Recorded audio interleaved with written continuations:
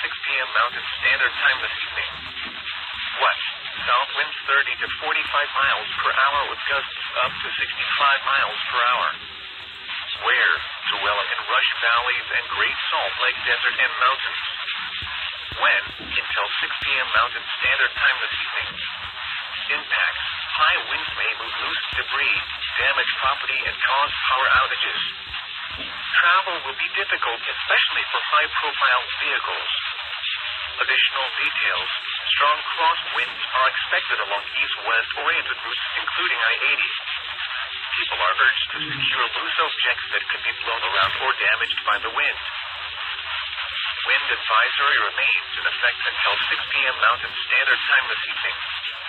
What? South winds 20 to 30 miles per hour with gusts up to 50 miles per hour. Where? Salt Lake Valley. When? Until 6 p.m. Mountain Standard Time this evening. Impacts. Gusty winds could blow around unsecured objects. A few power outages are possible. Additional details. Strong crosswinds can be expected along all east-west oriented roadways.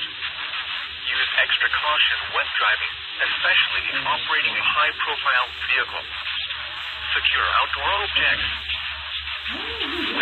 Warning remains in effect from 5 p.m. this afternoon to 11 a.m. Mountain Standard Time Wednesday.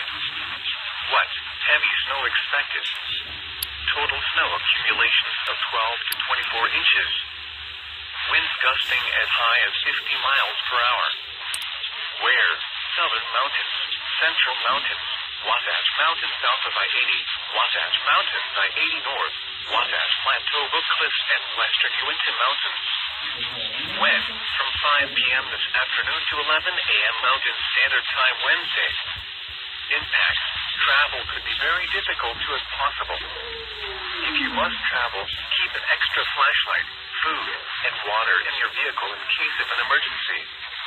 For graphical depictions of the snowfall forecast, including official National Weather Service forecast, high-end amount, and low-end amount, visit weather.gov slash Salt Lake City slash winter. For winter road conditions from the Utah Department of Transportation, visit http colon slash slash slash road or dial 511. Winter weather advisory remains in effect from 11 p.m. this evening to 11 a.m. Mountain Standard Time Wednesday. What? Snow expected.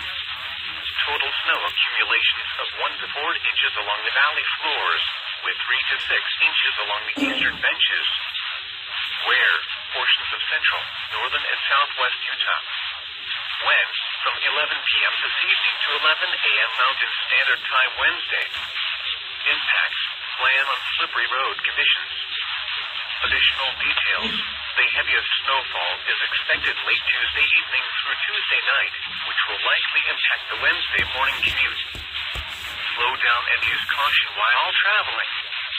For graphical depictions of the snowfall forecast, including official National Weather Service forecast, high-end amount, and low-end amount, visit weather.gov slash Salt Lake City slash winter. For winter road conditions from the Utah Department of Transportation, visit http colon slash slash www.udottraffic.utah.gov slash road or dial 511. Winter weather advisory remains in effect from 11 p.m. this evening to 11 a.m. Mountain Standard.